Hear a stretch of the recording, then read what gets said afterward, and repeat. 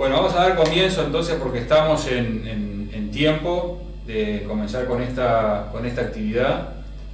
Eh, antes que nada quisiéramos agradecerles a, todos por acompañarnos, sobre todo a todos los que, socios de Montevideo del interior del país, y también a todos los, los, extranjeros que nos están siguiendo en este momento de diferentes, de diferentes lados agradecer a las distintas sociedades que nos apoyan y han difundido esta actividad entre sus socios, como ser la, eh, los copistas digestivos de Buenos Aires, especialmente su presidente, a Mario Donatelli, de la misma forma la Asociación Chilena de Endoscopía Digestiva, su presidente Robinson González, y también nos están, eh, hemos difundido y nos están acompañando de la Sociedad de Gastroenterología y Endoscopía de Paraguay, así que saludamos también a su presidente Carlos, Carlos Martínez. Como ustedes saben, la actividad de hoy es solamente eh, por videoconferencia. Esta es la modalidad que hemos nosotros eh, estamos desarrollando desde hace tiempo, modelo de videoconferencia y también de forma presencial. Agradecer, por supuesto, a los panelistas que nos acompañan el día de hoy, como son el profesor agregado Justino Ceballos de Cirugía de la Cátedra del Hospital Maciel, como ya dije, a Federico de Simone, que es un experimentado médico endoscopista, joven de nuestro medio, al igual que Horacio Gutiérrez Galeana, que también tiene mucha experiencia como endoscopista y sobre todo en lesiones colon-rectales. Y agradecer al profesor adjunto y presidente de la Sociedad de Oncología del Uruguay, al doctor Luis Ubillo. Así que muchas gracias por, por vuestra presencia. Y un agradecimiento muy especial al doctor Eduardo Albeniz, que es nuestro conferencista del día de hoy. El doctor Eduardo Albeniz es del Servicio de Aparato Digestivo del Complejo Hospitalario de Navarra, de España. además Eduardo es el coordinador del grupo de español de mucosectomía y disección endoscópica.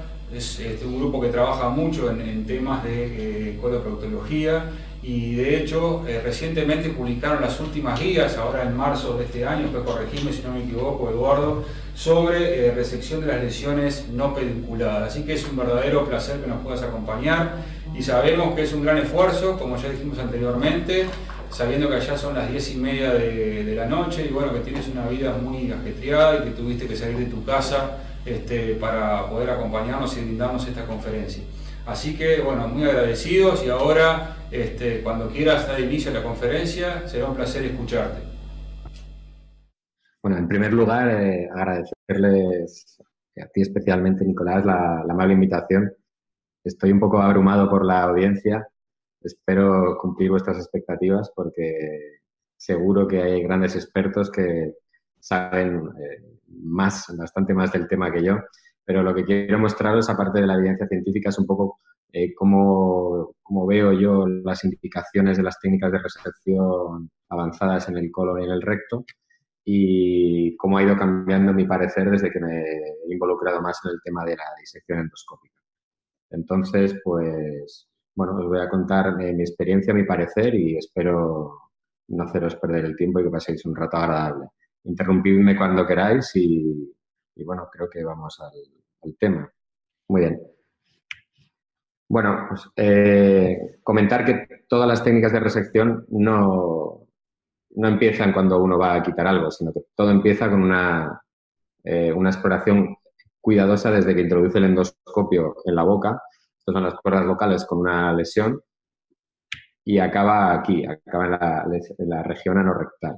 Entonces, eh, sin un buen diagnóstico no tenemos ninguna técnica de resección. Y probablemente aquí es donde haya que trabajar más y haya que trabajar más con los endoscopistas eh, de base, que son la mayoría, no solo con la gente que, realiza técnicas especialmente avanzadas. Aquí veis que una pequeña pérdida del, dibujo vascular y vemos una lesión porque la, seguro que la ven marcada, pero es, pues, a mí hasta me cuesta verla a mí que, que fue quien la quitó.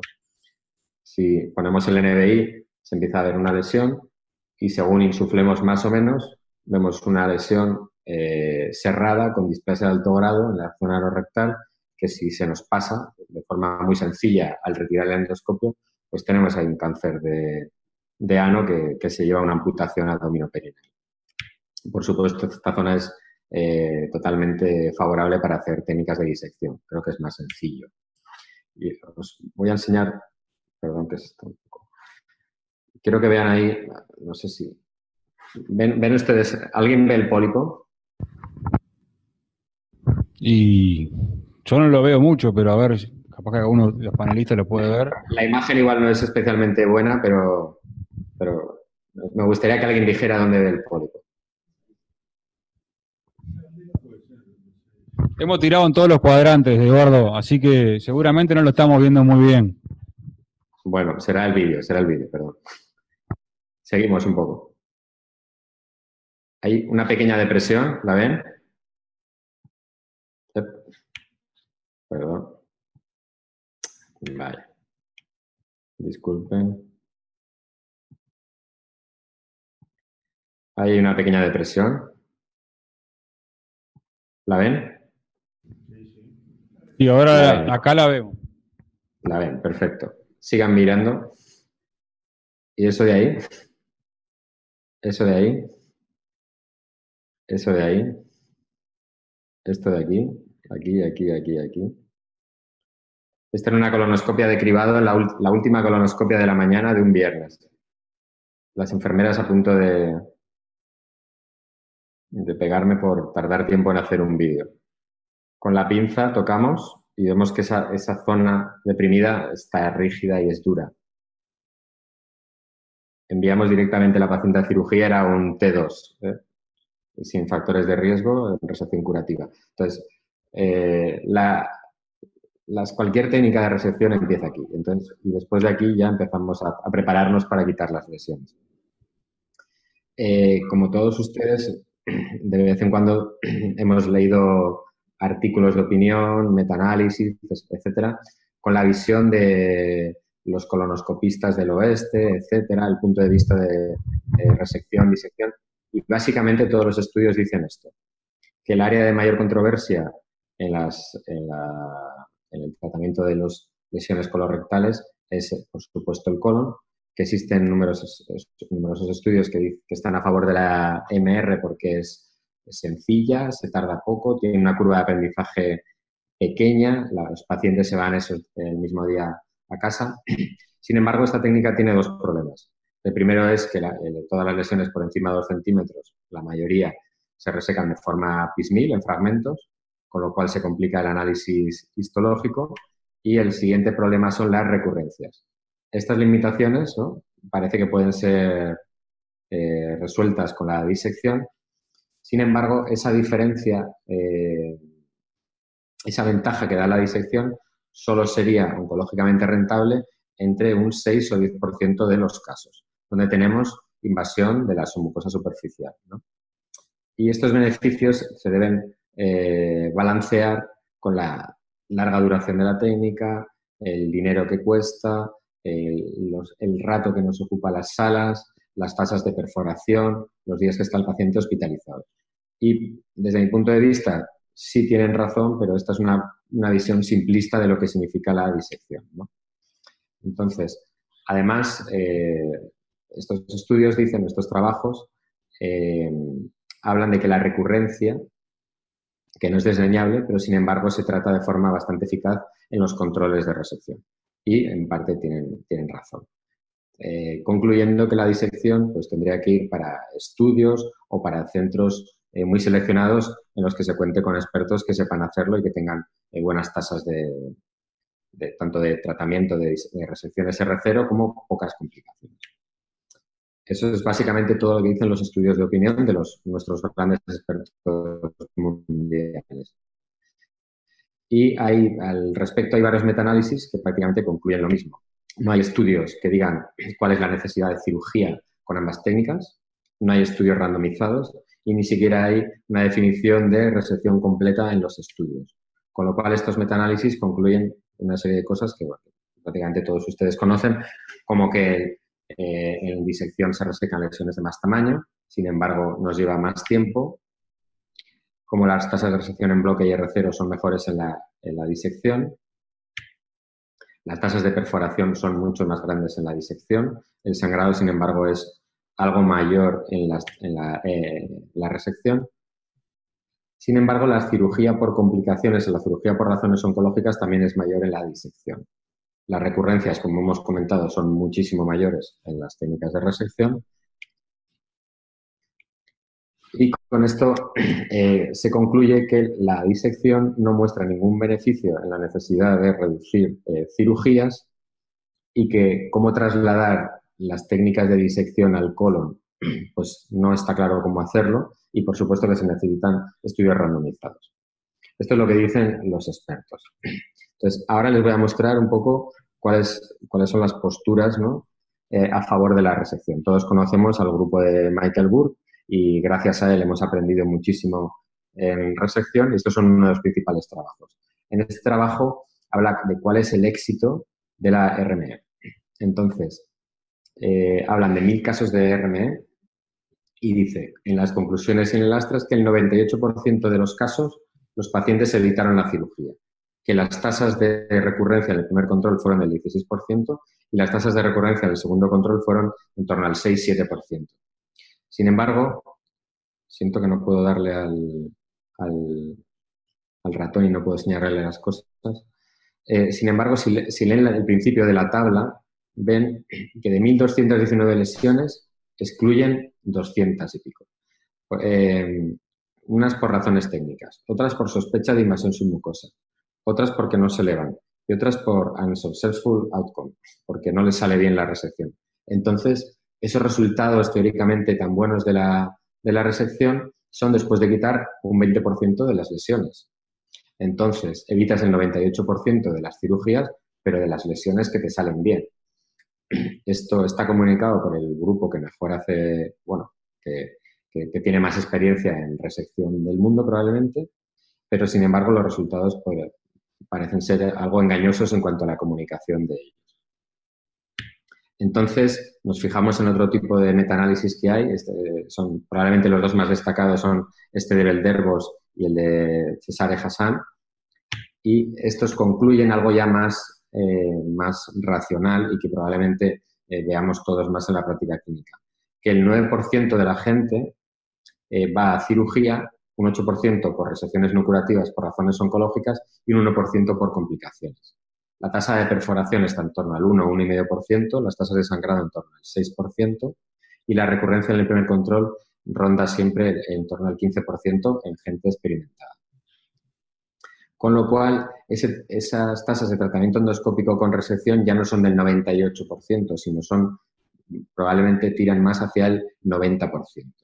La mortalidad, por supuesto, es bajísima con las técnicas endoscópicas. Poco a poco han ido apareciendo trabajos de este grupo que ya dicen, eh, hablan, empiezan a hablar de la disección, pero poco. Y eh, en este estudio, que es un estudio de, coste-efectividad, un análisis de coste-efectividad, pero es eh, un estudio, un modelo, hablan de que una estrategia exclusivamente limitada a esas lesiones sospechosas es la única estrategia en la que la disección sería coste efectivo y que una técnica de la realización universal de disección en estas lesiones, por supuesto, no es coste efectiva, con un amplísimo gasto de dólares. Pongo otro ejemplo reciente para que vean que siguen apareciendo estos artículos de opinión y aquí tenemos a tres expertos, al doctor Michael Burke, al doctor Nehaus, que sí que es verdad que hace bastante disección, y al doctor Berman, que aboga básicamente por la RME en, el, esófago. Entonces, casi siempre que, vemos eh, este tipo de artículos, no hay gente que se dedique en pleno a la disección o, no hay, eh, al menos, eh, expertos coreanos o japoneses en los que intervengan y den su, punto de vista. Entonces, ¿qué nos lleva a decantarnos por una lesión o por otra? Por supuesto, la morfología ni siquiera en mi servicio, ni, muchos, ni, yo mismo, en muchos eh, informes no detallo la clasificación de París, pero la clasificación de París y la clasificación de los LST en morfología ya nos indica qué lesiones han de ser más o menos tratadas de una forma o de otra. Entonces, las lesiones granulares, este es uno de los trabajos clásicos del grupo de Hiroshima, donde se ve que las lesiones homogéneas, eh, granulares homogéneas, apenas tienen un riesgo de diseminación eh, en la invasión, invasión submucosa es menor del 1%, las nodulares mixtas ya suben a casi el 15% y son las lesiones pseudodeprimidas en, las que este grupo comunica tasas de invasión submucosa del 42%.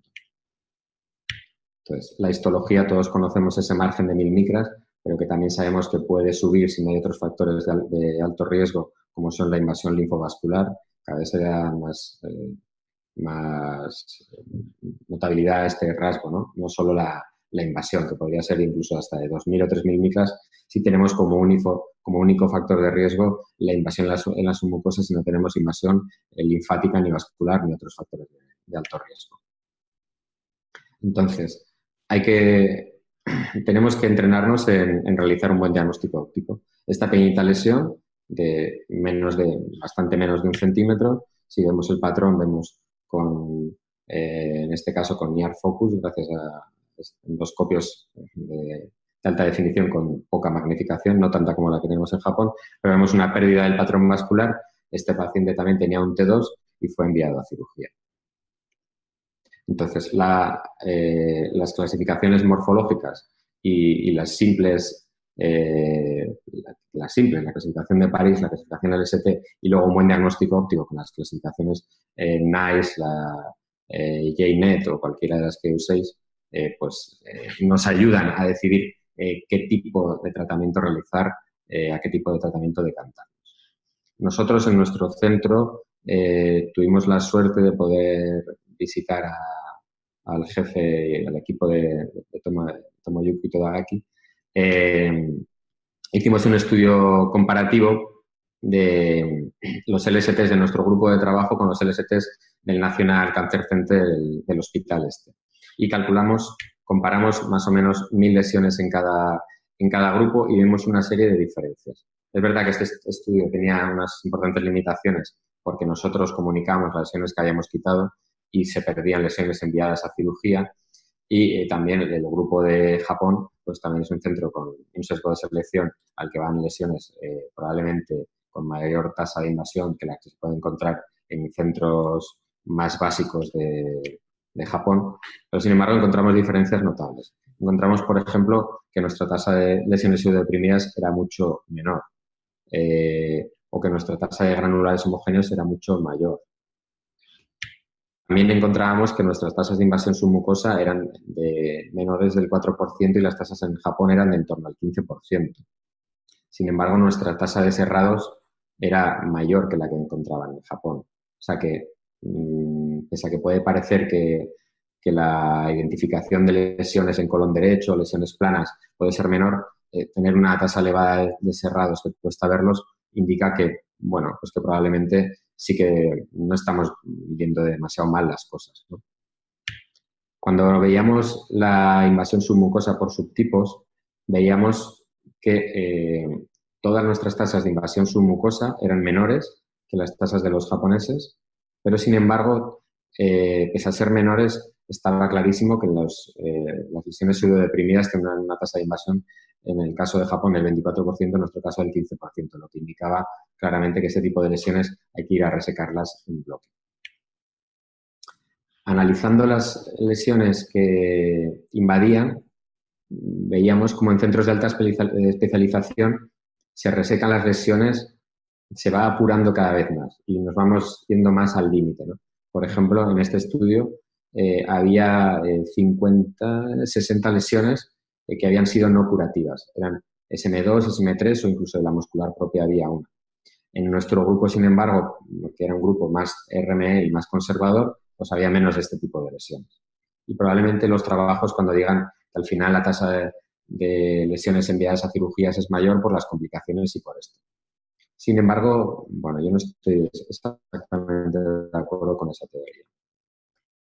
Más eh, bibliografía al respecto. Últimos metaanálisis que han salido. El de Lorenzo Fuccio, que dice que, bueno, 11.260 lesiones colorectales, una tasa de invasión submucosa, a mi parecer, bastante alta, del 15% de media en los estudios, pero eh, dice que solo la mitad son eh, infiltraciones de la submucosa superficial. O sea que solo se beneficiarían de, de resecciones en bloque eh, como máximo un 8% de las lesiones. Y a mí este estudio, este estudio me gusta bastante. Creo que probablemente se corresponda más con la realidad de, las tasas de invasión submucosa. Aquí sí que participan importantes especialistas orientales. Y en este gráfico se ve como las tasas de invasión submucosa en las lesiones granulares homogéneas es, como hemos dicho, baja, 0,5%, en las pseudodeprimidas de un 30%, las lesiones planas elevadas es de un 5%, pero como os digo, esto está orientado hacia los adenomas y en estas clasificaciones, estudios previos, nos hemos olvidado de las lesiones cerradas, que tienen esa morfología eh, plana elevada y hay que meterlas en algún sitio. Y las eh, lesiones nodulares mixtas tienen unas tasas de invasión en torno al 10,5%. Hay un trabajo del grupo de Bur, eh, también muy reciente, de Gaston Tolili, que habla, habla del, de la invasión eh, encubierta, ¿no? esas lesiones que tienen un patrón que por fuera no nos, no nos dicen nada y que, sin embargo, tienen invasión en la submucosa profunda. En este trabajo comenta que eh, las lesiones distales de gran tamaño y que son sesiles o que combinan características planas con sesiles tienen más eh, porcentaje de invasión en la submucosa profunda y que podrían ser susceptibles de, ser tratadas en bloque. Este es un buen trabajo. Entonces, pues desde mi punto de vista, este enfoque de MR versus eh, ISD en que tenemos eh, todo el día en la literatura científica, creo que es un abordaje absolutamente equivocado y antiguo. Y, y, es verdad que con MR, por ejemplo, yo lógicamente, y creo que la mayoría de ustedes, eh, pues no hemos empezado haciendo disecciones del 100% de la circunferencia del colon o del esófago, hemos empezado en la, en MR. Y con EMR se pueden hacer grandes cosas. Se pueden hacer resecciones de ilion, de la válvula, resecar lesiones casi circunferenciales del colon, pero mm, en ocasiones también tenemos problemas con esta técnica. Podemos resecar lesiones. Aquí ven dos epitelos diferentes, uno es escamoso y el otro es glandular. Estábamos en la zona anal, hemos hecho una ARM en fragmentos. Sin embargo, cuando uno empieza a manejar técnicas de disección, se da cuenta que en determinadas localizaciones y circunstancias, a veces es más fácil hacer una disección que una resección. Este es el consenso en el que hemos llegado con, mis compañeros en, nuestra guía clínica y creo que podría ser un abordaje bastante racional. Esta guía eh, la tienen ustedes disponible en la página de nuestra sociedad, de la Sociedad Española de Endoscopia, tanto para su uso como para difundirla a estudiantes, residentes, etcétera. Está en formato PDF libre y se la pueden descargar en, nuestro idioma eh, natal eh, pues, y que compartimos todos amigablemente. Se la pueden descargar en formato PDF de forma, de forma libre y gratuita. El resumen probablemente de cómo tratar estas lesiones eh, y el enfoque que le dimos nosotros era este. Las lesiones granulares, hicimos esa distinción entre 20 y 30 milímetros, es la zona en la que más o menos puedes conseguir quitar en bloque una lesión o no. Y porque casi todas las guías japonesas empiezan ahí a hacer la distinción también. Eh, las lesiones granulares, la mayoría se pueden quitar con MR y habría que hacer con disección algunos los casos en los que sospeche realmente invasión submucosa, pero van a ser muy pocos. De todas formas, si eres un gran experto en disección, tardas en quitar una lesión 50 minutos, te sientes cómodo y, tienes un tiempo dedicado a ello, pues no me parece ningún crimen también, eh, si tu perfil de seguridad es alto, quitar cualquier tipo de lesión con disección. En las lesiones nodulares mixtas habría que individualizar. Y lo que sí que hay que hacer es quitar los grandes nódulos, al menos por separado, y analizarlos por separado, porque en estos nódulos es donde está la, invasión submucosa. En las lesiones planas elevadas habría que individualizar, y aquí hay que tener en cuenta que plano no, solo es el adenoma, son las lesiones cerradas. Las lesiones cerradas se quitan bastante fácil con eh, resección endoscópica. Sí que es verdad que el problema de estas lesiones, más que quitarlas, es eh, definirlas adecuadamente y ver sus bordes. Aquí la cromendoscopia submucosa la inyección de colorantes en las sustancias de inyección nos ayudan bastante a delimitar estas lesiones. Eh, la MR es una buena, una buena técnica para estas lesiones. Sin embargo, hay esas lesiones planas adenomatosas en las que todos conocemos, Adolfo, ¿verdad? Eh, la ves y dices, esta lesión tiene fibrosis. Este tipo de lesiones, eh, la disección es una, técnica genial de, de elección. En las pseudodeprimidas por encima de 20 milímetros no hay duda hay que ir a la, hay que ir a la resección en bloque o sea, a la disección submucosa. En las lesiones sesiles hay que individualizarlo. Lo mismo digo, los grandes nódulos intentar rascarlos en bloque y ahí la MRS probablemente quite la mayoría de las lesiones, pero la disección va a ir ganando poco a poco y va a ir ganando terreno en nuestra, en nuestra práctica. Afortunadamente ahora para las lesiones con no, signo de no elevación, el no lifting sign, tenemos bastantes técnicas y aquí eh, no soy, creo que hay que tener la cabeza abierta y que, hay que, manejarlas todas. Por ejemplo, eh, nosotros estamos llevando un, un estudio autorizado con Underwater. El Underwater es una técnica que ya al principio era relativamente escéptico, pero creo que se le puede sacar bastante rendimiento. Algunas lesiones, hacer abulsión, también no, no me parece una mala, una mala indicación, porque la disección de determinadas lesiones, sobre todo fibróticas, tras varios tratamientos, incluso en manos de grandes expertos, llevan a, a grandes perforaciones y grandes agujeros. Entonces, hay que elegir bien las técnicas y no hay que, no hay que tener problemas o, dudas de cambiar una a otra si no, si no nos está funcionando el sistema. Lo bueno es que tenemos ahora un gran abanico de posibilidades de tratamiento. Por supuesto, para las lesiones polipoideas es la polipectomía y la MRE, la inyección en el pedículo, para cuando tenemos pedículos grandes, por supuesto que estaría indicada. En el carcinoide, por encima de 20 milímetros está indicada la cirugía, la disección, los que sean mayores de 10 eh, milímetros y la resección estaría eh, circunscrita a lesiones por debajo de 10 milímetros, lesiones con capuchón o, si es posible, resecciones híbridas que nos aseguren una, eh, obtener la lesión en bloque. Y bueno, no me quiero meter ahora con la discusión del pólipo pequeño, ¿no? porque ahí sí que hay, las, técnicas son muy amplias, cada vez está más de moda las técnicas de asa fría, pero tampoco se, se sabe a ciencia cierta eh, si no hacemos un buen diagnóstico de algunas lesiones con invasión submucosa, eh, esta técnica se quedaría corta para, para, algunos de estos tipos de lesiones. Entonces, pues bueno, es un tema ahí con bastante debate. ¿Qué dice la Sociedad Europea de Endoscopia? Pues también se circunscribe a las lesiones eh, con sospecha de invasión submucosa y luego deja abierto y dice lesiones que no puedan ser óptimamente, eh, resueltas o resecadas con las técnicas habituales. Una forma de disección barata y que tenemos todos accesible es la RMD híbrida. Con el mismo asa de polipectomía podemos hacer pequeñas eh, disecciones de los bordes de la lesión.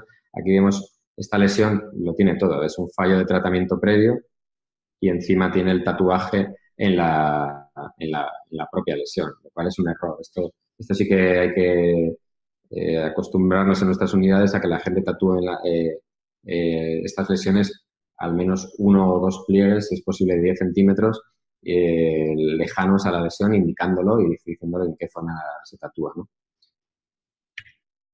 Y luego se consigue la resección, aquí veis la zona central de fibrosis y la tinta por debajo de, de la lesión, que es la que provoca la fibrosis. La disección. Como os digo, la disección es una técnica que no solo es para lesiones con sospecha de invasión submucosa. Por ejemplo, hay localizaciones en las que creo que, si dominas la técnica, es la técnica más sencilla y que, mejor te ayuda a quitar el tejido, por ejemplo, en la zona eh, cerca de un divertículo, en la zona eh, anal, eh, zonas con, fibrosis, lesiones con nódulos grandes, cualquier mínima sospecha si dominas esta técnica, mejor vete a la resección en bloque utiliza la disección. Por eso, esa visión reduccionista que tenemos en los artículos creo que se va a ir eliminando con las nuevas generaciones de eh, residentes que empiecen a formarse ya con la disección como arma, como arma de resección, no, a los que nos ha costado, hemos aprendido, eh, sin nadie a nuestro lado, hemos hecho muchas perforaciones. Entonces, va a ser otra generación en la que tienen este, la técnica de resección en bloque eh, más en su armamentario. Para las lesiones grandes es fenomenal y es muy útil hacer la técnica del túnel, eh, ahorra bastante tiempo. Como os he dicho, para las lesiones anorrectales, sin duda el recto es una zona estupenda y las características oncológicas de invasión eh, rectal hacen que cualquier duda de invasión submucosa nos decantemos por resecciones en bloque. esta probablemente sea de las lesiones más grandes que he quitado por, por disección.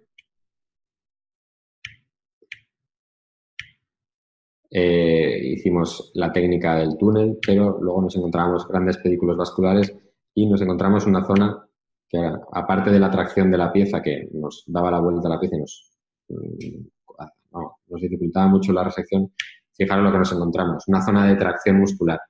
Hay recientemente un artículo que dice que en estas eh, lesiones eh, está contraindicada la, la, DSE. Pero, sin embargo, cuando este paquete va,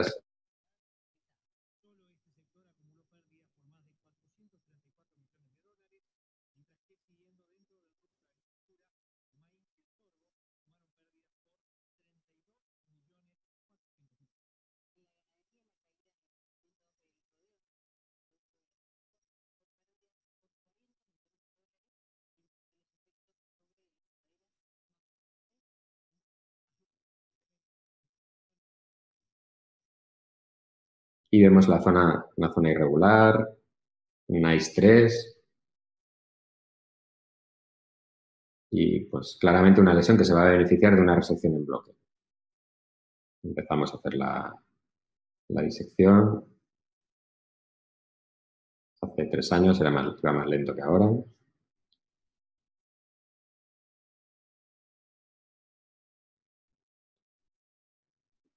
Hacemos la lesión en, de forma frontal y nos empezamos a ver esa zona ya fibrótica.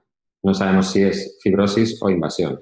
Vemos como al tocar con el bisturí se estimulan las fibras musculares.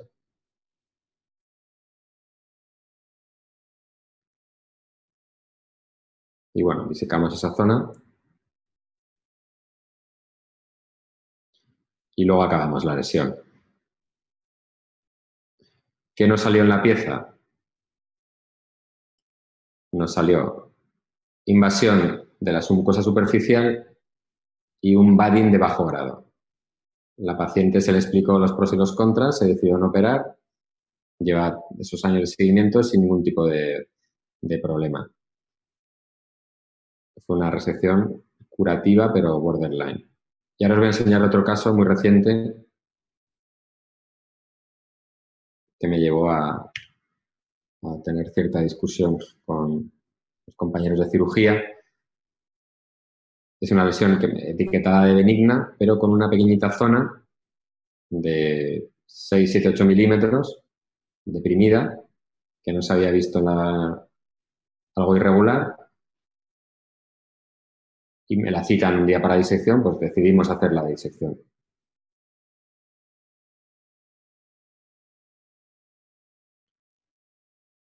¿Alguien hubiera parado la, técnica? Hubiera, ¿Lo hubiera echado para atrás?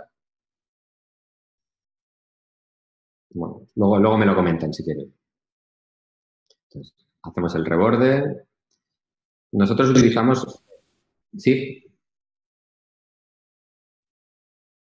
Nosotros utilizamos gelafundina porque es un, es un suero muy barato como sustancia de inyección y la verdad que va genial. No, no necesitamos hialurónico, otras sustancias más caras, para cuando dicen los cirujanos, es que no me dais toda la pieza, etcétera, veis cómo la disección se hace al borde del músculo y se obtiene la, práctica totalidad, casi totalidad de la, de la submucosa. el análisis oncológico es, es, perfecto, porque todo lo que pasa a la submucosa, al final, la resección no es oncológica. Entonces, el TEM no, da ninguna ventaja oncológica a la DSE. El TEM, la cirugía trasanal, no sé cómo le llaman ustedes allí, perdón. Pues vemos como la línea de resección es punto por punto, pegado al músculo, evitamos los vasos, ya, luego ya los iremos coagulando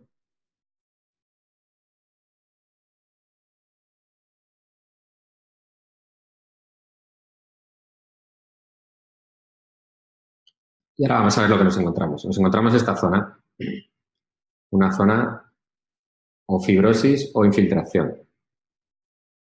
Pues lo mismo. Hacemos una técnica de casi no contacto, ponemos el bisturí simplemente enfrente de la lesión y vamos dando pequeños pulsos de, bisturí Y con eso separamos esa zona.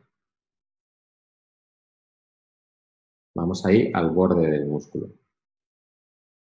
De hecho, en la pieza veían, el patólogo veía algo de músculo.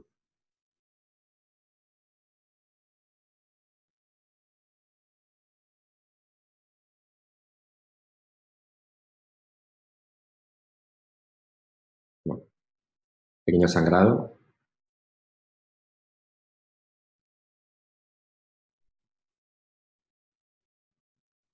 Yo utilizo mucho una técnica que no, he visto mucho hacer por ahí, que es eh, coagular con, la punta del coagraspe, de la, de eh, cerrada. Con eso te evitas el daño térmico en la parte posterior de la...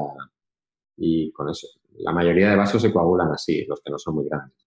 Aquí tenía unos vasos perforantes gigantes que sí que le damos a la, a abierta. ¿eh? Coagulamos esos grandes vasos. Contracción hacia afuera, etcétera. Paso un poquito de vídeo. Y acabamos de cortar esa zona fibrótica.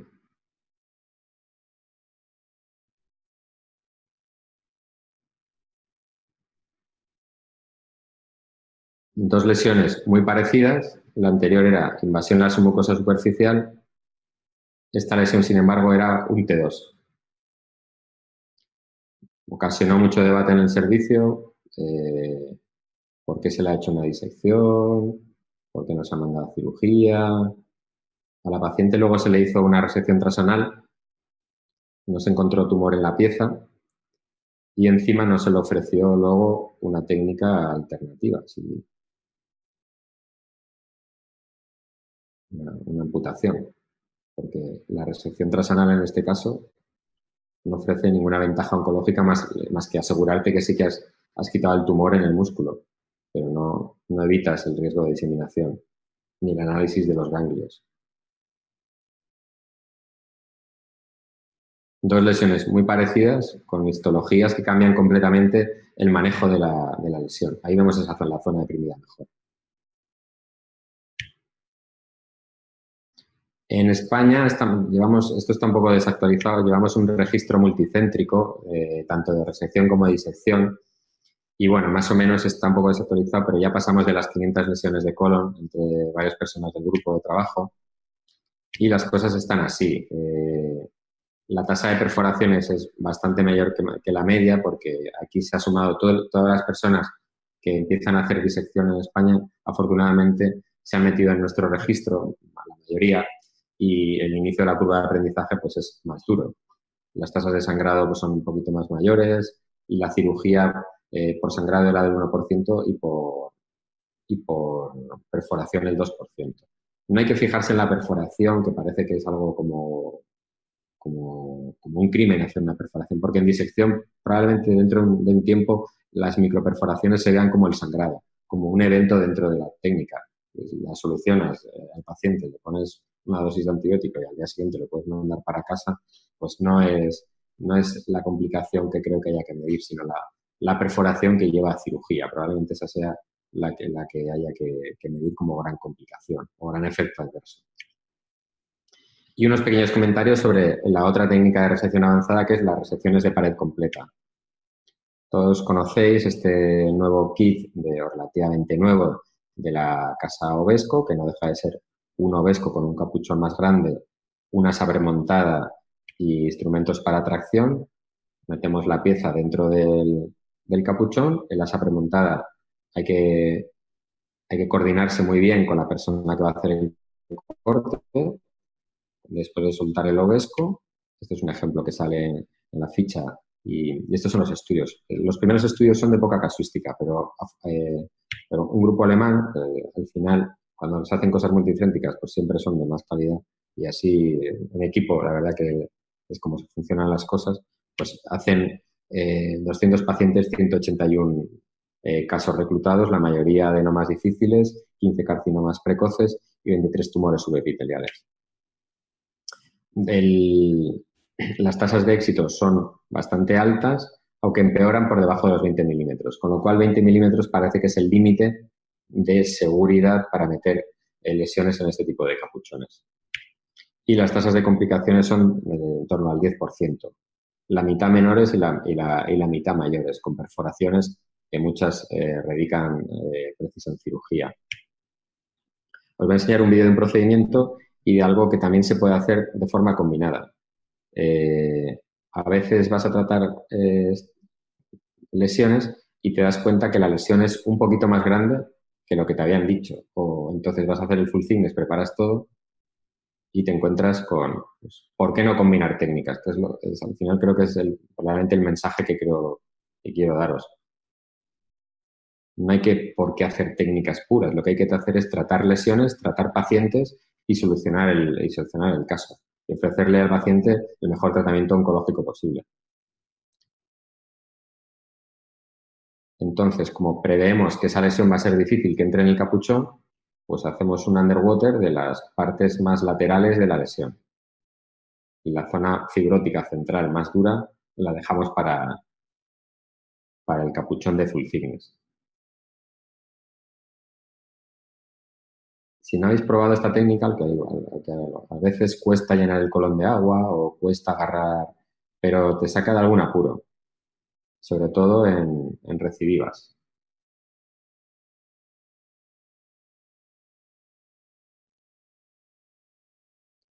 Entonces conseguimos, vamos resecando esas zonas. A veces se cogen fragmentos de mayor tamaño, eso está, pegado damos un poco de argón en los bordes para asegurarnos, porque luego el capuchón eh, molesta bastante. Cuando tenemos ya las marcas definidas, lo más enfrentados posible a la lesión, es cuando metemos la pinza. Se recomiendan hacer succión o succiones muy pequeñas para no atrapar tejidos extracolónicos, ¿no? Hay, algún caso de perforación de intestino delgado o algún atrapamiento ureteral, pero es muy raro y lo que hay que hacer es coordinarse bien, pequeños movimientos para, porque es bastante fácil desgarrar la, si ustedes tienen experiencia es bastante fácil desgarrar con la pinza la, lesión, que se te suelte. Cuando uno también libera el, clip, el obesco, eh, también empuja la lesión hacia, hacia afuera y se te va un poquito la lesión. Entonces hay que mantener bien la tracción con la, con la pinza no, soltarla mientras liberamos el obesco y coordinarse, muy bien con la, con la, persona que corta con el asa. Aquí ya vamos a cortar.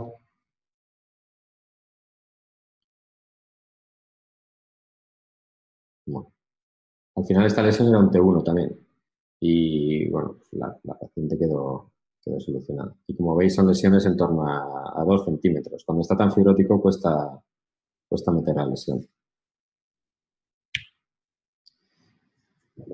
no sé si he transmitido o he querido, o lo he intentado al menos, es decir que no hay que tener una visión cerrada sobre la RME, ni sobre la DSE, ni sobre el full thickness, ni sobre la abulsión, sino que creo que la combinación de las técnicas y sus variantes nos hacen tratar la inmensa mayoría de las lesiones eh, colónicas superficiales.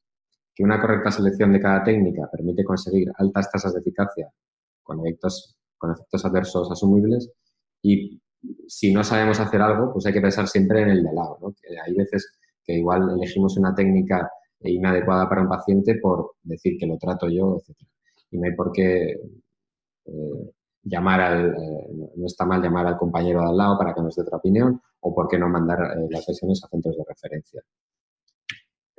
Creo que las técnicas pues tienen que ser un matrimonio, es mejor que duerman juntos que no tan separados que hay que combinar, que, hay que crear endoscopistas desde el principio, ¿no? Con, que sepan capaces de manejar todas, las, todas estas armas.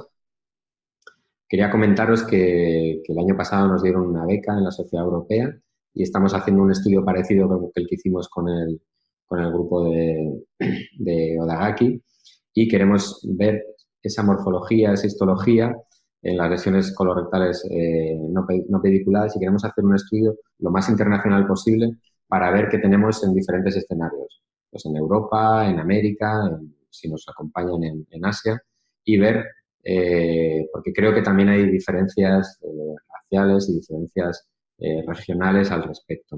y os invito absolutamente a que seáis protagonistas del estudio participando en él, en este o en, varios estudios que tenemos. Y quería también deciros que estas técnicas nos abren el camino hacia, otras técnicas de endoscopia submucosa y a tratar casos sencillos o casos complejos de no solo en estándar, sino casos con fibrosis masiva. Esta era una niña de 17 años que tenía fibrosis como la que veis aquí durante 10 centímetros del túnel. Nos pegamos eh, cuatro horas tunelizando y cinco horas de procedimiento. Pero esto que sale en los estudios como, como POEN abortado, pues que si tienes una técnica fina de disección puedes llegar a, a tratar este tipo de lesiones y que poco a poco hemos ido evolucionando y metiendo en nuestro grupo todo el abanico de técnicas. Desde esa, en la izquierda veis una RME, y luego las otras son pues, disecciones de, toda la pared, de, recto, de esófago, de estómago.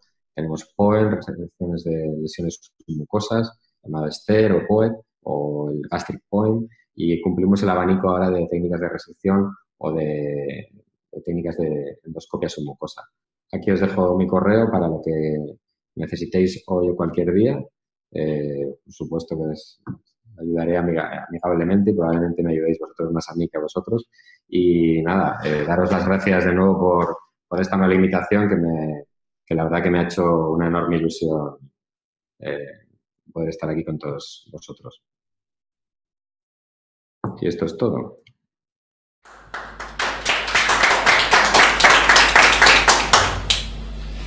Bueno, Eduardo, eh, agradecerte, la verdad que una, una, conferencia muy, muy completa, tocaste muchos puntos, seguramente muchos puntos de, debates eh, que seguramente van a surgir ahora de, la discusión con los, con los panelistas.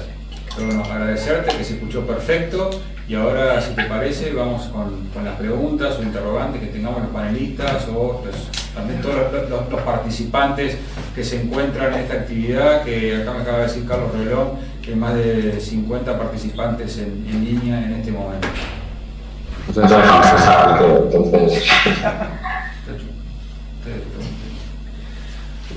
Bueno, felicitaciones doctor, muy completo. Hemos oído además las técnicas incluso de más avanzada, como es la resección de toda la pared de colon, las técnicas bajo agua, en la ISD. Eh, en principio, yo creo que todas estas técnicas han llegado para quedarse y seguir desarrollándose, porque uno a veces cuando ve técnicas nuevas piensa que son técnicas que, que van a desaparecer, pero no, la ISD es una realidad desde hace ya muchos años y sin duda que va a seguir desarrollándose. Tiene todavía las limitantes justamente los casos más interesantes, que son el colon derecho, en donde cada vez vemos más lesiones planas, más lesiones en topografías de difícil acceso y que eh, es difícil realizar la, la ISD en esta topografía. Evidentemente en el recto, por debajo de la reflexión peritoneal, es el lugar ideal que todos deseamos, ¿eh? porque si hubiera alguna perforación no estamos en la cavidad peritoneal, estamos en eh, subperitoneal eh, y, la evolución es más favorable. Ahora, yo quería referirme en primer lugar a que la ISD en lo personal no la hacemos. Tuvimos una pequeña incursión en el 2008 en el Congreso Alemán de, de Gastroenterología que compramos un IT Knife, una pequeña eh, inclusión en ese tema y ahí decidimos de que evidentemente es una técnica que se debe manejar en centros de referencia, donde se deben protocolizar los casos eh, y continuar con la enseñanza. Es, no es, eh, es, un tema, es un tema que llegó para quedarse, pero tiene que, se, tiene que desarrollarse con seriedad. Seguramente va a ser muy fácil, como usted dice, la tunelización y después que uno le toma confianza, este, puede ser una técnica muy noble pero limitada a los casos que mencionó el doctor, que son esos casos donde uno sospecha la invasión submucosa y que son sobre todo los casos de LST no granular con una pseudodepresión, que tiene una chance de invasión submucosa mayor. Pero estos casos son yo no tengo las cifras, el doctor las dijo, pero son la amplia minoría, ¿eh? porque la gran mayoría son lesiones, y refiriéndome a las no polipoides, son lesiones que uno ya ve que son benignas. Entonces, yo quería destacar la importancia de saber reconocer endoscópicamente ¿eh? ese 5-10% de lesiones que pueden estar invadiendo la submucosa, con los signos macroscópicos, la induración, la ulceración, la, piel de gallina, eh, y después conocer bien la, clasificación de CUDO con el PIT pattern, la clasificación de SANO con el pattern vascular y la, y la NICE también. Porque uno así macroscópicamente ya, ya sabe que va a poder hacer una eh, IMR, una mucosectomía segura en una lesión benigna. Si no hay ningún, si uno evidentemente se entrena en reconocer cuáles son las chances de invasión submucosa. La gran mayoría son lesiones de la mucosa, o a lo sumo con una displasia limitada, severa limitada a la mucosa, pues un cáncer temprano M. Eh, el tema son esos pocos casos de invasión SM, o de pequeñas lesiones que tienen no una invasión, que son avanzadas, que infiltran la muscular que es así, hay que saber macroscópicamente reconocerlas. Y yo creo que esos signos que hemos mencionado son incluso más importantes que el signo del lift sign, de, la inyección y la sobreelevación, que también es importante. Pero a veces depende como de detalles técnicos. Hay que conocer muy bien la semiología y hacer primero que nada el diagnóstico. Y luego quería hacer una referencia a que nosotros los endoscopistas queriendo desarrollar técnicas, a veces nos ensañamos con una lesión y no tenemos que olvidar que estamos tratando pacientes con pólipos y no el pólipo. Entonces es muy importante adecuar bien la, indicación de, hasta incluso cuando ni debe tocarse el pólipo, cuando es un hallazgo en un hombre de 98 años con un cáncer de páncreas terminal que le piden una colonoscopía y uno se encuentra con una enorme lesión ¿eh? y a veces, bueno, voy a practicar la técnica de la ISD. No, no, estamos tratando eh, pacientes no pólipos.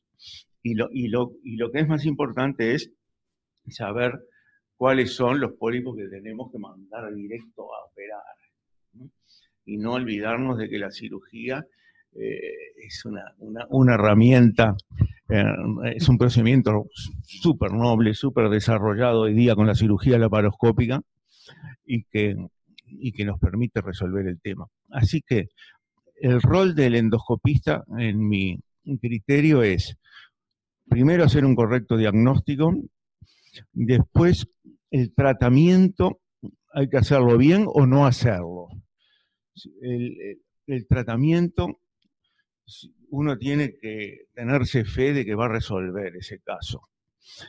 Eh, no que va a ser una resección incompleta, resecar unos fragmentos y ver qué pasa, porque esos van a recidivar. Y ya vimos que la recidiva, cuando es en las lesiones muy grandes, de más de 2 centímetros, y se hace piecemeal, la recidiva es mayor. Es, eh, es, bueno, va del 5 hasta el 50% en algunos centros. Entonces, nosotros, cuando pensamos que es una lesión benigna sin signos de invasión, en algunos casos, como son los adenomas acerrados o esas lesiones LST de más de 2-3 centímetros en napa, eh, granular, que sabemos que, es benigna, a veces la complementamos con algún método. Tratamos de resecar todos los fragmentos con grasa, pero a veces técnicamente la realidad muestra que no siempre es fácil, puede quedar algún bordecito y ahí hacemos técnicas entonces de coagulación, ya sea con la punta del asa cerrada o con gas argón o la avulsión, que es tomar con la pinza de biopsia la lesión y usar corriente de corte, entonces se desprende en bloque, eh, en esos casos los restos. También eso es muy bueno para tratar las, las recidivas. Bueno, yo no quiero monopolizar la palabra. ¿Hay algún comentario de algunos de los, de los invitados que están participando del exterior? ¿Alguno quiere hacer algún interrogante? No sé si nos están escuchando, nos están escuchando todos. te quería preguntarle al doctor Araní, ¿qué opina de la resección mucosa en frío? Porque no la, no la ha referido en su conferencia. No sé si me escuchaste la pregunta. Sí, sí, perfectamente. Eh, no he querido meterme con, ese, con el tema de las resecciones de pólipos pequeños, me, he referido más a temas de pólipos grandes. Eh, yo creo que es una técnica que puede estar bien si se hace muy bien y tienes el material adecuado. O sea, eh, intentar hacer resección en frío con las asas convencionales hace que, las, que la asa, el asa resbale y vaya hasta el borde del pólipo y que dejemos que la, hagamos de forma incompleta. Para hacer una buena resección en frío tenemos que dejar un margen amplio de, resección de, mucosa sana alrededor del cuerpo. Si no, es una técnica incompleta. Y luego en los estudios en los que se ha hecho análisis histológico de qué estamos resecando, se ve que eh, esa resección se deja a veces eh, trozos de muscular de la mucosa. Entonces, eh, es una buena técnica, pero si la seleccionas bien. Eh, pólipos pequeños o pólipos grandes en los que claramente no haya ninguna sospecha de invasión submucosa. Se ha utilizado para los cerrados, etcétera. Entonces, eh, resección en frío sí, pero con buena técnica eh, y con buen material. Y en los casos, en casos seleccionados.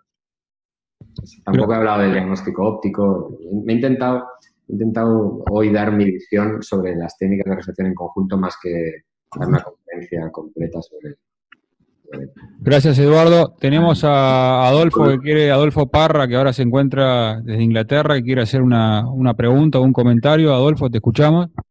Buenas tardes, noches. Eh, muchas gracias y felicidades, Eduardo. Estaba estupendo, muy completo, muy buenos vídeos. Quería eh, poner solo tres puntos muy rápido sobre eh, tu charla y el tema. Uno es cuando comparan, que tú has dicho muy bien, que cuando los accidentales hablan sobre la disección, si te hablan, yo creo que muchos de los expertos han hecho, no han hecho mucho bueno por la disección, eh, por su aplicación e implementación, porque ¿qué pasa? Que como es difícil hacerla, pues uno ya es experto en un tema y puede mostrar muy buenos resultados, aunque como has mostrado algunas veces, están un poco maquillados los datos, ¿no? Pero realmente el, decir que la disección realmente solo eh, es ventajosa en un pequeño porcentaje de los casos en que hay una pequeña invasión, a mí eso me parece un, argumento que usan que no es válido porque ahí evalúan series de disección donde tú tienes toda la pieza completa. Entonces ahí puedes evaluar lo que hay. Pero cuando haces resecciones en múltiples fragmentos, no sabes lo que está pasando. No sabes si son el 3% o el 8 o el 5 los que tienen invasionadas sus mucosas porque un trabajo muy bueno de Saito y su grupo que compararon mucosectomía en pismil con disección, veían que en 1% de las, las mucosectomías en fragmentos tienen eh, recurrencia invasiva, porque inicialmente no, se había visto. Así que eso es una cosa. Otra, yo creo que ¿quién puede decir que si pudiera hacer una disección como lo hacen los grandes expertos no lo haría? frente a quitar una cosa en 20 fragmentos. Nadie. Entonces, el tercer, segundo punto sería que lo importante es el entrenamiento en Japón me hace gracia porque tengo japoneses que han venido conmigo y ellos están enseñando la disección y tal, pero cuando había alguna mucosectomía me pedían ayuda, porque ellos son, tienen más eh, confianza ya, los endoscopistas jóvenes japoneses, con la disección que con la mucosectomía. Quiere decir que todo depende de qué es lo que aprendas y si lo mamas desde jovencito, ¿no? hay que hacer todo. Y por otra parte, el diagnóstico, ¿no? Has puesto algunas lesiones que dices que luego había debate por si que era invasiva. Bueno, en Japón cada vez más y más y sobre todo la disección ha llevado bastante a que, como sabes, a que aumente el uso de la magnificación. Antes no era muy, muy aceptada en Japón porque es compleja, pero ahora con la disección, como casi todos evalúan las lesiones con magnificación, realmente pues el uso de magnificación, más tinciones probablemente lo que hagamos, hace que, el, diagnóstico preoperatorio sea básico, ¿no? Entonces, yo para mí son, son puntos fundamentales, ¿no? Con eso si ya puedes hacer disección, ¿quién no haría disección frente a quitar una lesión que biológicamente es relevante en múltiples fragmentos? No una lesión de extensión lateral granular homogénea, que eso nunca es malo. Adolfo, eh, totalmente de acuerdo. he intentado reflejar eso, que la, que la visión es absolutamente simplista con respecto a la disección, que faltan mejores estudios, que faltan mejores estudios de RME aquí eh, por otros grupos y que faltan estudios de, disección cuando, cuando se hayan hecho ya la curva de aprendizaje, ¿no? Estudios que incluyen eh, el inicio de curvas de aprendizaje eh, sin tutorización, sin tener un maestro al lado. Ahora, por ejemplo, yo no soy ningún experto en disección, pero esta semana, por ejemplo, en tres días he hecho cinco disecciones. a la persona a la que estoy enseñando, su curva de aprendizaje va a ser la mitad de la, de la que, ha sido la mía, porque, porque me tiene a mí detrás. Entonces, eh, va a ser una técnica que, se va a implantar. Se van a implantar las, las, resecciones híbridas, se va a ver la disección como un arma más del armamento del, del, residente en formación y del adjunto desde el inicio de la residencia. Entonces, eso es un poco lo que, lo que quiero transmitir. Y bueno, tú, ¿qué te voy a decir? Que, que tú has sido el maestro y el, y el que ha metido el gusanillo a la mayoría de españoles que estamos en esto. O sea que absolutamente de acuerdo. El tema del diagnóstico, he puesto algunos ejemplos para que veamos lo importante que es el diagnóstico y no me he querido meter con las clasificaciones ópticas, etcétera. Tenemos un problema de tecnología que en la mayoría de las unidades pues no dispone de endoscopios de, alta definición, magnificación y tenemos lo que hablo yo, teles con, trasero, ¿no?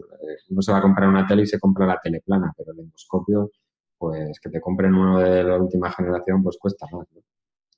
Entonces, pues ahí hay que trabajar mucho. Hay que trabajar mucho en enseñar al, al endoscopista básico y hay que formar endoscopistas especializados que manejen todas las técnicas de forma rutinaria. Gracias, Eduardo. Tenemos una pregunta del doctor Justino Ceballos, que es cirujano, que seguramente quedó muy impresionado con lo que acabas de mostrar. Justino, ten la palabra. Bueno, antes que nada, agradecerle este, y felicitarlo por la, por la exposición, este, muy ilustrativa, las distintas técnicas de resección. Para nosotros, eh, generalmente son eh, de, enorme, utilidad, manejamos una población muchas veces este, envejecida, con muchas comorbilidades, y cuando los endoscopistas pueden resolver estos casos con técnicas eh, menos invasivas que un procedimiento quirúrgico, con el cual siempre hay que comparar estas técnicas, este, realmente es de mucha utilidad para el paciente fundamentalmente. Donde discreparía un poco es en, el, estudio que usted mostró de una lesión de recto que, este, con una depresión central, ahí me interesaría saber si esos pacientes a veces lo discuten con el equipo quirúrgico y cómo los estudian previamente, si se basan solamente en la semiología endoscópica o si hacen técnicas de imagen como puede ser una tomografía, una, una ecoendoscopía o una resonancia para una estadificación un poco más integral, porque a veces nos encontramos que después de las resecciones se estudian, digamos, a la inversa, es decir, eh, pasan a estudiarse o a estadificarse posterior a la resección y aparecen adenopatías mesorrectales y empezamos con la dificultad de saber si esa es una adenopatía producto de la resección o es una adenopatía, este, digamos, eh, por, una, por una metástasis ganglionar. Y este, porque a veces cuando uno tiene la sospecha, por ejemplo, si es un T2 eh, de un recto bajo, eh, que puede llegar a ser un paciente que puede requerir de una amputación abdominoperineal, a veces optamos por una por un tratamiento de neoadyuvancia y podemos incluso llegar a tener una respuesta completa y manejarlo con un, con un control y con un seguimiento. Entonces, un poco saber si esos pacientes los estudian imagenológicamente previamente y si se discuten eh, de forma multidisciplinaria con equipo quirúrgico como para tomar una, determinación.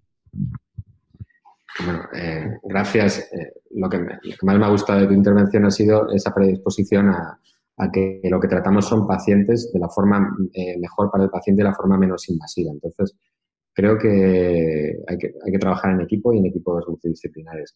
Por supuesto, tenemos, nosotros hemos conseguido una cosa en nuestro servicio que es tener un correo electrónico al que nos va cualquier caso de, eh, resección compleja de cualquier localización. Eso nos ha hecho centralizar los casos endoscópicos y designarles tanto tratamiento, horario, doctor, etcétera. Entonces, eso para nosotros, que estamos haciendo de hace poco, ha sido como la noche y el día a la hora de centralizar casos. Los casos complejos, eh, tumorales, van a un comité oncológico en el que están cirujanos, oncólogos, radiólogos, endoscopistas, etcétera, por supuesto. Pero, sin embargo, hay algún caso que te encuentras sobre la marcha. O sea, eh, que es este, este, tipo de casos, ¿no?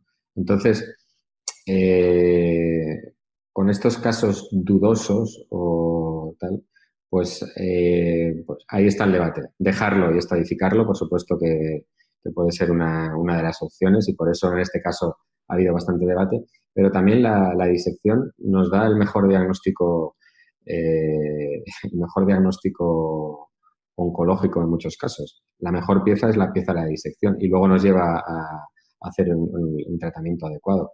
¿Por qué no ir ahí, eh, al revés, ¿no? tener esa pieza y luego ir al, diagnóstico? Está claro que esta señora, al final, pues si se hubiera estadificado previamente, pues igual el manejo hubiera sido algo diferente. O, o no, o no, porque la, usted conoce perfectamente que la, no sé cómo estadifican. Nosotros hacemos, hacemos una doble estadificación con resonancia y ultrasonografía endorectal. La endosonografía, el estadiaje ganglionar eh, está en torno al 70-70 de sensibilidad y especificidad. Eh, entonces hay bastantes fallos, tanto por encima como por debajo. Estoy, estoy de acuerdo con lo que dices. Eh, los pacientes que claramente tengamos una invasión tienen que ir a ser estadificados, ir al comité y decidir si es el mejor tratamiento. También tengo que decir que hay que ofrecer a los, pacientes el tratamiento radical eh, de inicio. O sea, que, si tú haces una disección, encuentras una invasión en la muscular y luego eh, va el compañero de cirugía y hace un, un TEN, no le estás ofreciendo ninguna ventaja oncológica a, ese paciente, porque al final no, va a ser a por los ganglios, sean reactivos o sean realmente invasivos. Entonces, yo creo que ahí tienes razón, pero hay casos muy concretos, muy pocos, en los que se actúa pues, no, no bien, tanto porque te llega la endoscopia ya con la idea de resección o porque después de tener un estadiaje, igual al paciente se le ofrece un tratamiento subóptimo. estoy totalmente de acuerdo contigo. Una, una pregunta, Eduardo, y aprovechando que tenemos eh, el doctor Luis Ubillo, oncólogo, en, esta sesión. ¿En qué situaciones, por ejemplo, usted hace una resección endoscópica y que bien, el, porcentaje de tener eh, adenopatías es bajo? Hablamos un 5, un 10%, pero, pero, pero existe una probabilidad de tener adenopatías. Y no queremos ir a, una cirugía. ¿En algún caso de ese, de ese tipo recurren a un tratamiento oncológico para evitar la cirugía en algunos pacientes Sí, sí, sí.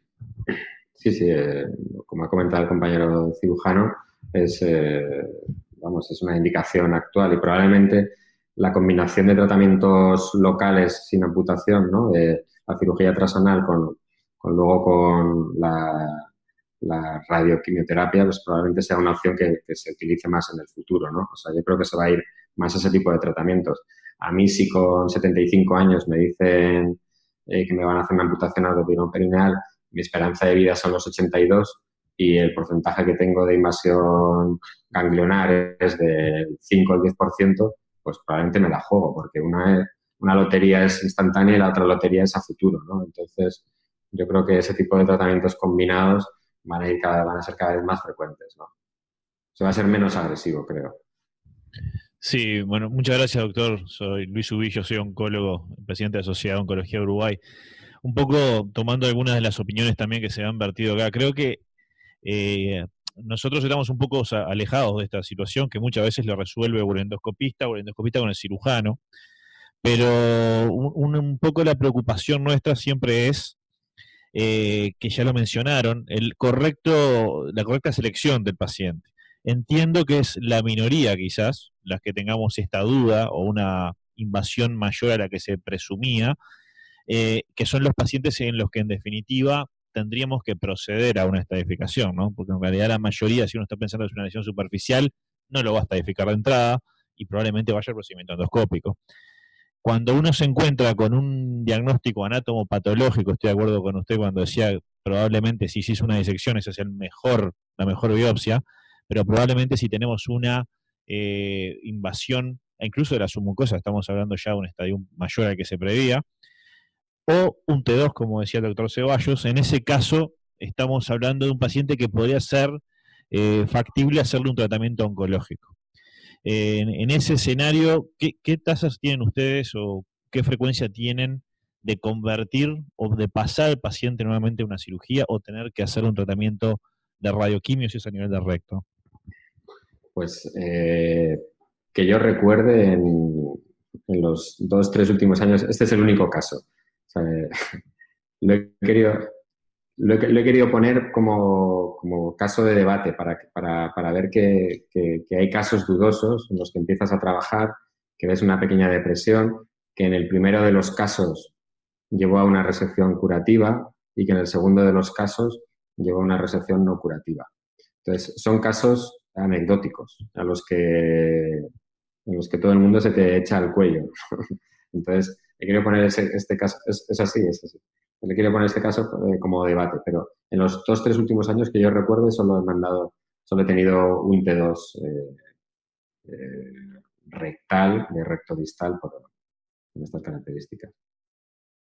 Eduardo. Porque, los, porque hay veces que no hay confianza en el endoscopista. Entonces, a veces te exigen que, reseques algunas lesiones. Entonces, creo que eso tiene que cambiar. Creo que se tiene que dar confianza al endoscopista y al diagnóstico óptico que haces. Por ejemplo, la otra lesión ¿no? que os he enseñado al principio, que tenía un pequeñito parche, esa lesión amplia, esa lesión directamente fue a cirugía. Si confían en ti, el cirujano confía en ti, haces el mejor tratamiento posible sin nada más. Eduardo, te transmite un poco lo que nos sucede a nosotros en Uruguay, que nosotros, es muy parecido a la realidad que viven ustedes seguramente. Nosotros vemos muchas lesiones eh, realmente de extensión lateral a nivel colon rectal. Como tú sabes, Uruguay, el cáncer de colon es realmente un problema muy importante y hacemos mucha colonoscopía y vemos muchos pólipos de extensión lateral. Que la verdad que nosotros, a la gran mayoría de esos pólipos, le hacemos la técnica de mucosectomía, mucosectomía en bloque o mucosectomía en fragmentos. Y nosotros creemos, por lo menos, y esto creo que estamos todos de acuerdo, que lo resolvemos endoscópicamente. O sea, a la hora después de tener la, anatomía patológica, la gran mayoría de ellos, pero me refiero más del 90%, el compromiso es mucoso. O sea, no hay un compromiso submucoso.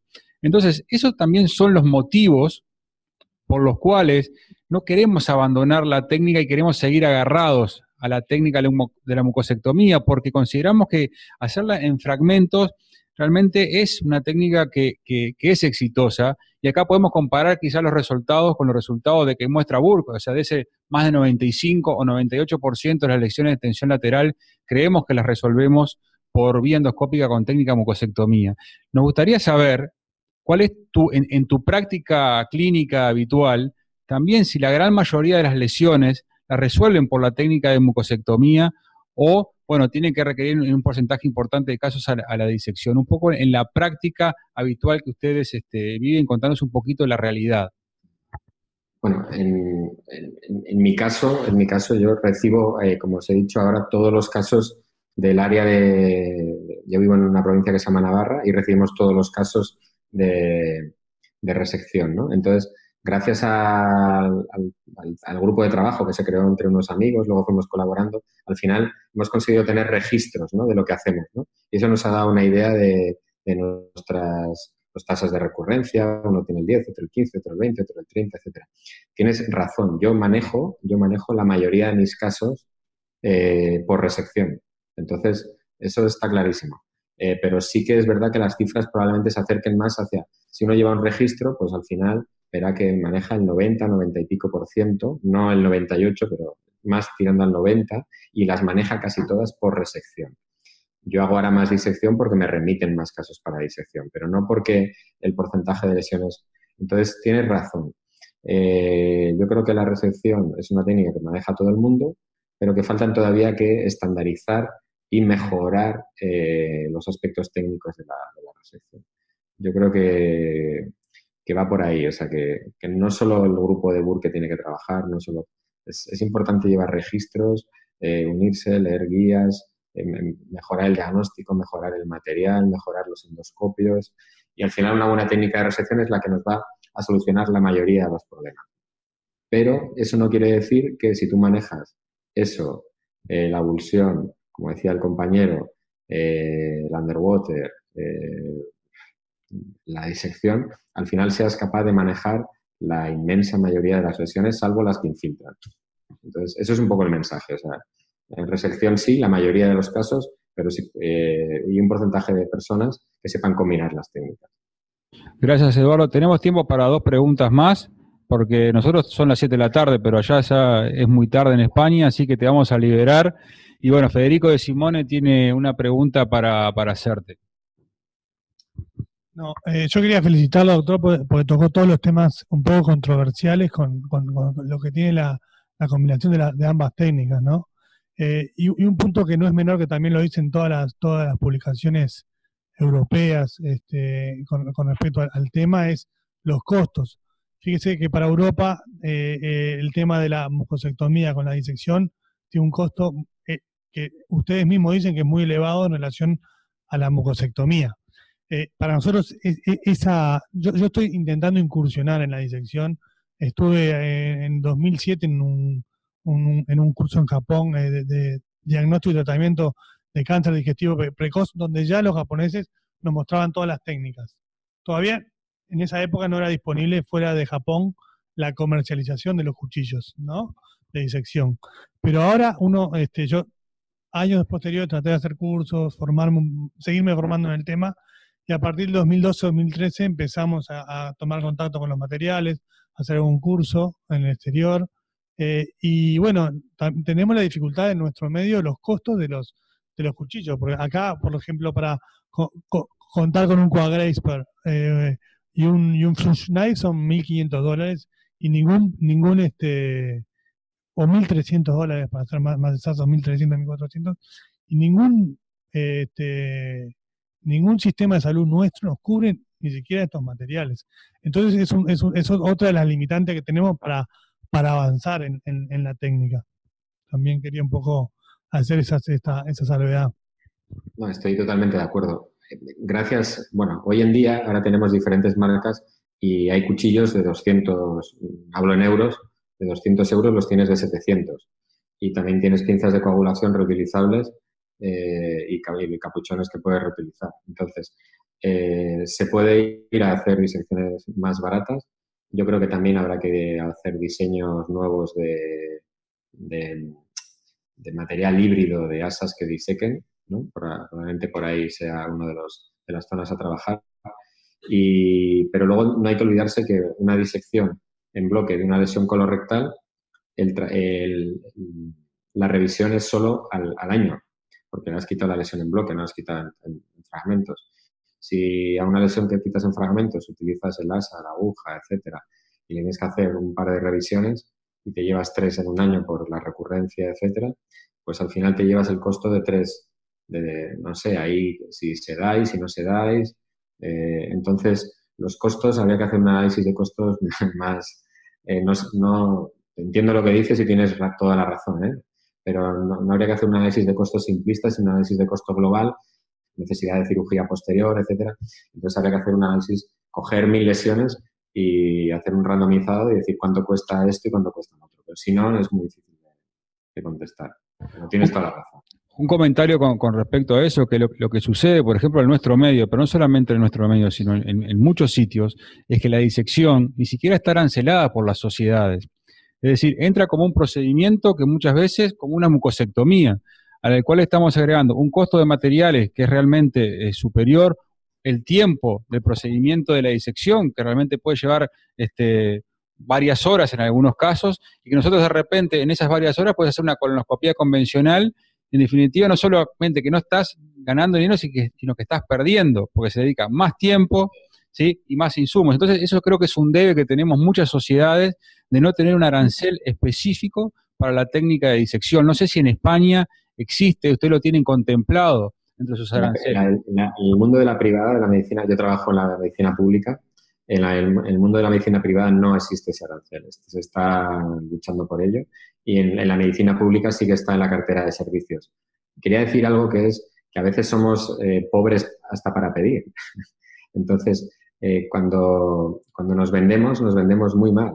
Eh, no tenemos, si vemos una disección de tres horas como y la comparamos con seis colonoscopias que podía haber hecho esas, en esas seis horas, nos estamos vendiendo muy mal. Nos tenemos que comparar con, con nuestros compañeros los cirujanos, que normalmente operan entre dos, abren un kit de la paroscopia y, ahí van los 6.000 los euros. Entonces, eh, cuando, se entiéndeme y lo siento ahí, que me tengo muy enfrente aquí en la, en la, en la foto, el compañero cirujano, pero tenemos que compararnos y hacer un estudio de costes global, no un, estudio de costes simplistas con eh, técnicas sencillas que perdemos, sino con técnicas con, con qué ganamos, ¿no? Si, además, sobre todo si seleccionamos bien a los pacientes.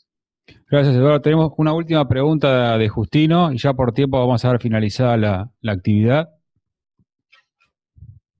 Aclararle que nosotros somos laparoscopistas pero pobres, entonces el material es siempre reutilizable y lo que tiene que, usarse una vez lo usamos mil más o menos. Este, no, con respecto a, los procedimientos de disección, eh, cuando consideran que hay un paciente con un riesgo más elevado de perforación, eh, realmente cuando hay una microperforación en un colon tan bien preparado como los casos que generalmente ustedes realizan, eh, la, contaminación eh, es mínima y muchas veces esa reparación puede hacerse por vía endoscópica en, endoscopistas entrenados.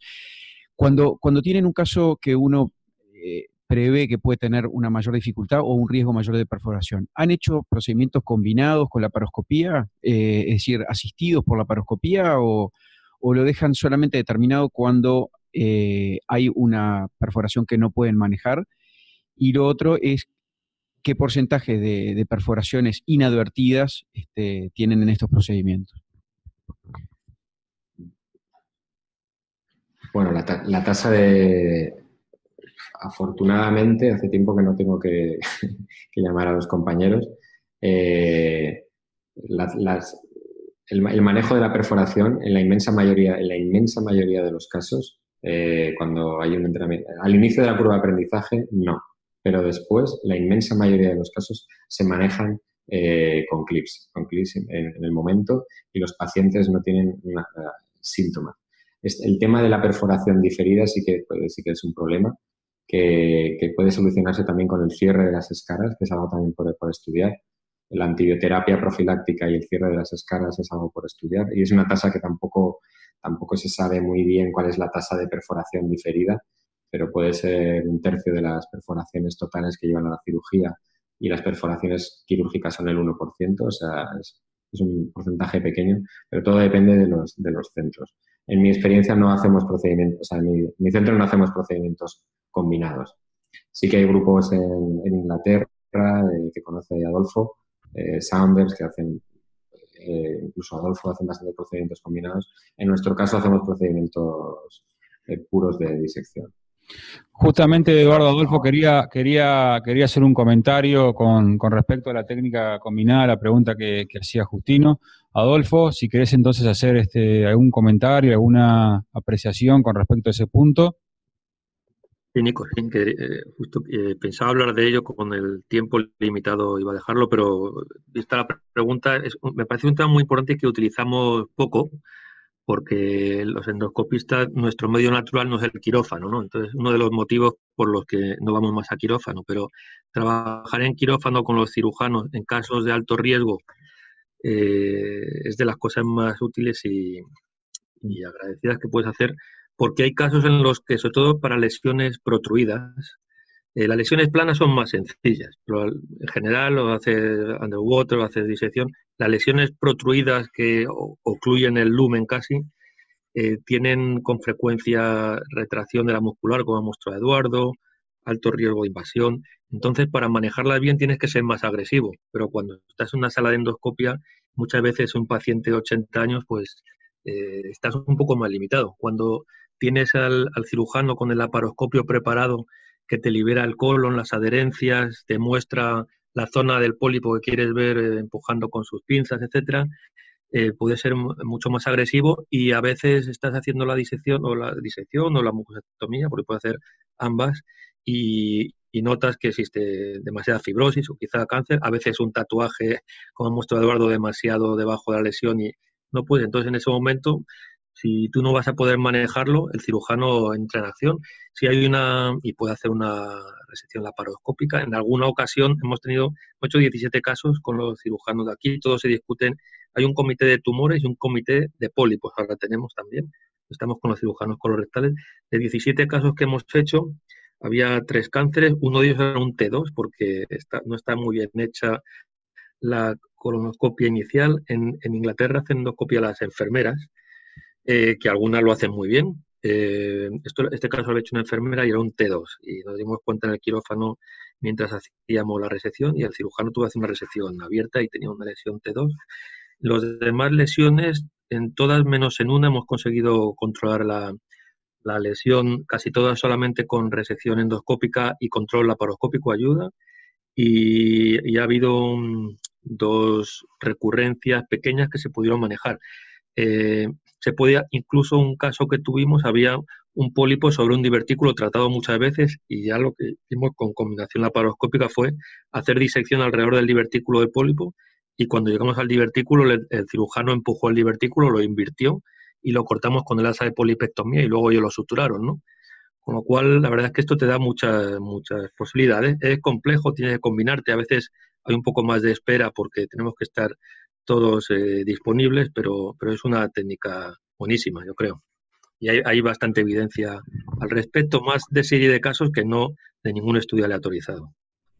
Gracias, Adolfo, por, por tus comentarios. Y bueno, siendo las 7 de la tarde acá en Uruguay, las 12 en, en España, eh, quisiéramos, antes que nada, agradecerles a, bueno, a todos los participaron de distintos puntos del país y extranjeros. Hay comentarios de Bolivia, de Brasil, Chile, Paraguay, o sea, mucha gente que se ha unido a esta actividad.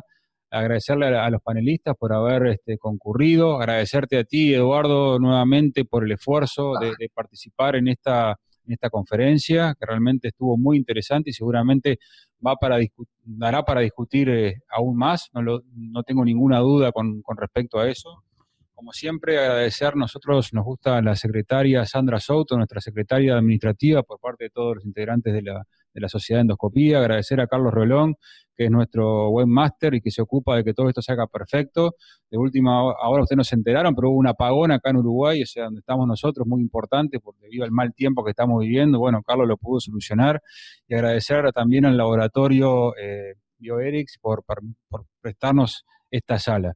Y también quisiéramos invitarlos a nuestra próxima actividad, que será el viernes 27 de julio, en el cual eh, el doctor Víctor Avesia del Hospital Italiano de Buenos Aires hablará sobre la utilidad de, las prótesis de colon a nivel del cáncer colon rectal. Seguramente, como ustedes saben, eh, también un tema muy controvertido sobre la utilidad entonces de prótesis en, en algunas situaciones de cáncer de colon. Entonces, realmente agradecerles a todos por haber estado acá y bueno, especialmente a ti entonces, Eduardo, por esta, este tiempo que te has tomado y brindarnos esta excelente conferencia. Si quieres decir una palabra de despedida, eh, bueno, te escuchamos. Agradeceros enormemente la invitación. Espero ir a visitaros en persona alguna vez, que así, aunque este método ha sido fenomenal. Espero haber dado mi visión y, nada, daros las gracias por vuestra atención, que seguro que hay, hay grandes expertos que que tienen muchísimas cosas que han quedado en el tintero y que aportar por encima de las mías. Gracias. Gracias, Eduardo. Y también le digo a todos que la actividad eh, ha sido grabada completamente, así que después van a poder tener acceso, o incluso la vamos a enviar por mail para todos para que la, tengan, entonces, si quieren repasar algunos puntos y aquellos que no la hayan visto. Saludos para todos de parte bueno, de todos los integrantes de la comisión directiva y bueno, nos vemos en la próxima. Chau, chau.